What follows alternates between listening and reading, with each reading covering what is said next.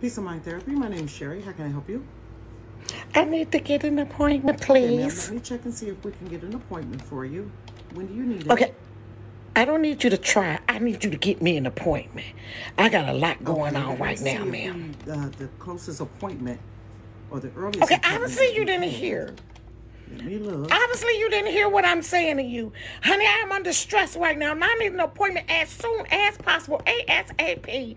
Honey, my husband is leaving me, my daughter is sick, and my son's running amok. So I need you to make it happen for me. Do you not care about my life? Do you not care about my life, ma'am?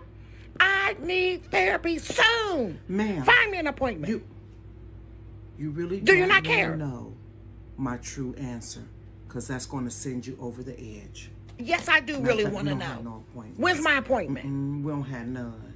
We don't have ain't none got none. Fully booked, Tiny, to 2024. Fully booked. I wish you the best. Ma'am, I need to speak.